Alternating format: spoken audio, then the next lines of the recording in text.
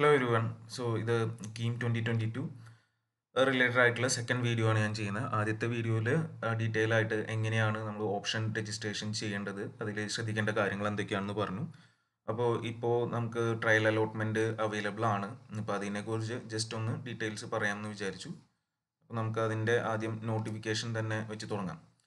അപ്പോൾ അതിൽ engineering and architecture കോഴ്സസിന്റെ ആണ് ട്രയൽ അലോട്ട്മെന്റ് പബ്ലിഷ് ചെയ്തിട്ടുള്ളത്. ഇപ്പോൾ നമുക്ക് ഓൾറെഡി നമ്മൾ ഫോളോ ചെയ്യുന്ന C dot Kerala dot G O V dot in വെബ്സൈറ്റിൽ തന്നെ കിട്ടാം. അത് ചെയ്തിട്ടുള്ളത് പ്രത്യേകം പറയുന്നുണ്ട്. Trial allotment is publish on the basis of online option submitted by candidates till eighteen naught nine twenty twenty two പതിനെട്ടാം തീയതി വരെയുള്ള സബ്മിഷന്റെ ബേസിസിലാണ് ഈ ട്രയൽ അലോട്ട്മെന്റ് വന്നിട്ടുള്ളത്. ആ സബ്മിഷൻ എന്ന് ഉദ്ദേശിക്കുന്നത് പതിനെട്ടാം തീയതി വരെ ലാസ്റ്റ് സേവ്ഡ് ആയിട്ടുള്ള ഡാറ്റ നമുക്ക് അതിന് സബ്മിറ്റ് എന്ന് പറഞ്ഞ ഒരു ഓപ്ഷൻ ഇല്ല. ലാസ്റ്റ് സേവ് ചെയ്യുന്ന data and the trial allotment does not ensure the allotment of a candidate instead indicates the possibility for allotment of a course or college to a candidate അപ്പോൾ നമുക്കതൊരു ഉറപ്പൊന്നും തരുന്നില്ല. Just ഒരു എന്താ പറയുക indication തരുന്നു മാത്രമേ ഉള്ളൂ. ഇപ്പോൾ ഈ അലോട്ട്മെന്റ് എല്ലാവർക്കും അവരവരുടെ പോർട്ടലിൽ നിന്ന് കാണാം എന്നുള്ളതിന് പുറമെ നമുക്കതിന്റെ ഒരു ലാസ്റ്റ് അലോട്ടഡ് റാങ്ക് എന്നുള്ള രീതിയിൽ അതും കൂടിയും അവർ ഷെയർ ചെയ്തിട്ടുണ്ട്. അപ്പോൾ അത് നോക്കിക്കഴിഞ്ഞാൽ നമുക്കൊരു ചെറിയൊരു ഐഡിയ എങ്കിലും കിട്ടും.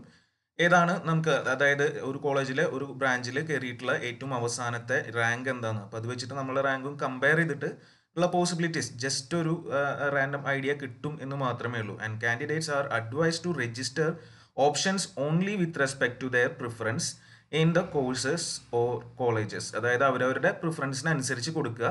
അല്ലാണ്ട് പ്രിഫറൻസ് ഇല്ലാത്ത കൊടുക്കണ്ട. പിന്നെ ഈ ഒരു ട്രയൽ അലോട്ട്മെന്റിന്റെ ബേസിസിൽ മുഴുവനായിട്ടുള്ള അല്ലെങ്കിൽ ഭയങ്കര ഭീകരമായിട്ടുള്ള ചേഞ്ചസ് ഒന്നും വരുത്താൻ നിൽക്കണ്ട എന്നുള്ളതാണ് പറഞ്ഞിട്ടുള്ളത്.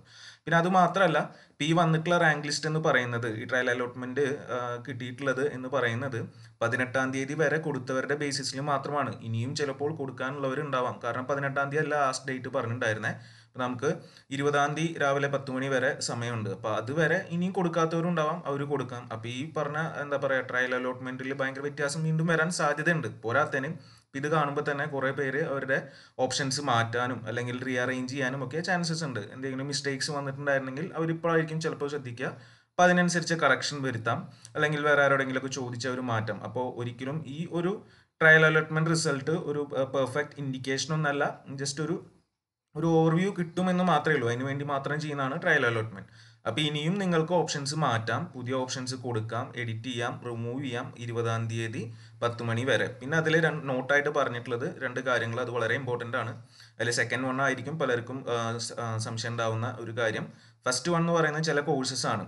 Cyber physical physical systems and computer science and engineering in government engineering college Thrissur and civil engineering electrical and electronics engineering and mechanical engineering in Malabar institute of technology then have not been include in the trial allotment ഇതൊന്നും trial അലോട്ട്മെന്റിൽ included ആയിട്ടില്ല. അപ്പോൾ അത് first allotment ഫേസിൽ consider ചെയ്യുന്നും ഇല്ല എന്നുള്ളതാണ് പറഞ്ഞിട്ടുള്ളത്. അപ്പോൾ മേ ബി സെക്കൻഡ് അലോട്ട്മെന്റിന്റെ ടൈമിലോട്ട് അതിൽ പ്രിഫർ ചെയ്യുന്നവർക്ക് അത് ആഡ് ചെയ്യാനുള്ള ഓപ്ഷനും കൂടിയും കിട്ടും. അപ്പോൾ അതില്ലാത്ത ഒരു അലോട്ട്മെന്റ് ആണ് ഇപ്പോൾ തന്നെ വന്നിട്ടുള്ളത്. പിന്നെ സെക്കൻഡ് തിങ് ആണ് ഏറ്റവും ഇമ്പോർട്ടന്റ് ആയിട്ടുള്ളത്. No allotment has been made to community or registered society or registered trust or quota ആ ഒരു കോട്ടയുടെ കാര്യം ഭയങ്കരമായ സംശയം ഉണ്ടായിരുന്നതായിരുന്നു പലർക്കും. കമ്മ്യൂണിറ്റി കോട്ട കോട്ടയിൽ സെർച്ച് ചെയ്യുമ്പോൾ നമുക്ക് കമ്മ്യൂണിറ്റി മൈനോറിറ്റി എന്നൊക്കെ പറഞ്ഞിട്ടുള്ളത്. അത് ഓരോ കോളേജിനും കൊടുത്തിട്ടുള്ളതാണ്. ഇപ്പോൾ ഓരോ ക്രിസ്ത്യൻ മാനേജ്മെന്റ് കോളേജ് ആണെങ്കിൽ അവർക്ക് ഇത്ര ten percentage may be for community reservation ഉണ്ടായിരിക്കും. അത് അവരുടെ കമ്മ്യൂണിറ്റി റിസർവേഷൻ ആണ്. അപ്പോൾ അതല്ലാണ്ട് ജനറൽ മൊത്തത്തിന്റെ റിസർവേഷൻ അല്ല. അത് ചില സെലക്റ്റഡ് കോളേജുകൾക്കേ ഉണ്ടാവുള്ളൂ. അപ്പോൾ അത് കൂടുതൽ ഡീറ്റെയിൽ അറിയണമെങ്കിൽ ശരിക്കും പറഞ്ഞാൽ നമ്മൾ ആ കോളേജുമായിട്ട് കോൺടാക്ട് ചെയ്യാണ് നല്ലത്.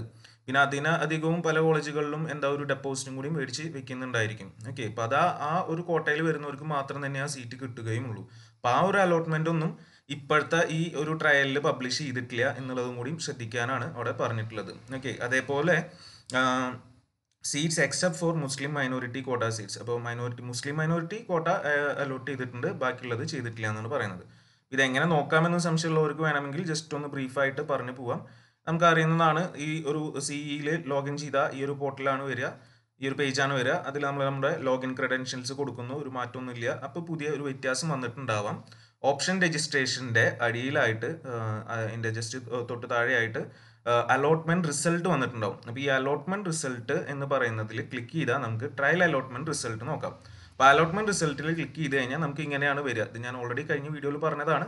ഏതാണ് നമുക്ക് അലോട്ട് ചെയ്തിട്ടുള്ള കോഴ്സ് അതവിടെ എഴുതി വരും. ഇപ്പോൾ ഈ ഒരു കുട്ടിയുടെ കേസിലാണെങ്കിൽ electrical and electronics engineering at Vidya academy of science and technology ആണ് അലോട്ട് ചെയ്തിട്ടുള്ളത്. അത് തന്നെയായിരുന്നു ഈ കുട്ടിയുടെ ഫസ്റ്റ് ഓപ്ഷൻ അപ്പോൾ ഫസ്റ്റ് ഓപ്ഷൻ തന്നെ അലോട്ട്മെന്റിൽ കിട്ടും എന്നുള്ളതാണ് ഒരു ഇൻഡിക്കേഷൻ ആണ് ഇവിടെ കൊടുക്കുന്നത്. അല്ലാണ്ട് അതിൽ നിന്നും കൂടുതൽ ഇൻഫർമേഷൻ ഒന്നും തന്നെ ഇല്ല. ഓക്കെ ഇതാണ് ഇവിടെ വരുന്നത്. പിന്നെ വേണമെങ്കിൽ നമുക്ക് ഇതിന്റെ എന്താ പറയുക ട്രയൽ അലോട്ട്മെന്റ് കഴിഞ്ഞിട്ടുള്ള ലാസ്റ്റ് റാങ്ക് ഡീറ്റെയിൽസ് പബ്ലിഷ് ചെയ്തിട്ടുണ്ട്.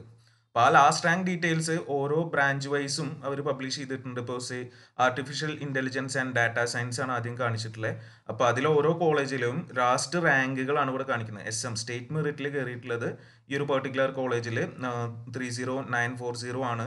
ഇ സെഡ് കാറ്റഗറിയിൽ ഫിഫ്റ്റി ടൂയിലേക്ക് പോയിട്ടുണ്ട്. അപ്പോൾ അങ്ങനെ ഓരോന്നും നമുക്ക് അവിടെ നോക്കാവുന്നതാണ്. ഇത് സ്ക്രോൾ ഡൗൺ ചെയ്ത് കഴിഞ്ഞാൽ എല്ലാ ബ്രാഞ്ചസിന്റെയും നമുക്ക് കാണാൻ പറ്റും. എല്ലാ കോളേജസിലെയും നമുക്ക് കാണാൻ പറ്റും എന്നുള്ളതാണ് അവിടുത്തെ ഇമ്പോർട്ടന്റ് ആയിട്ടുള്ള കാര്യം. അപ്പോൾ അത് ജസ്റ്റ് ഒരു ഇൻഡിക്കേഷൻ മാത്രം തന്നെയാണ്. ലാസ്റ്റ് റാങ്ക് ഡീറ്റെയിൽസ് കഴിഞ്ഞ കൊല്ലത്തെ തരുന്ന പോലെ ഈ ഒരു ഇതിന്റെ ബേസിൽ ട്രയൽ അലോട്ട്മെന്റിന്റെ ബേസിൽ ഇത് കാണാമെന്ന് മാത്രമേ ഉള്ളൂ. അപ്പോൾ ഏതാണോ റിസർവേഷൻ ഈ എന്താ പറയുക അതിന്റെയൊക്കെ ജസ്റ്റ് ഒരു ബ്രീഫ് ഐഡിയ മാത്രമാണ് നമുക്കിതിൽ നിന്ന് കിട്ടുന്നത്. ഓക്കെ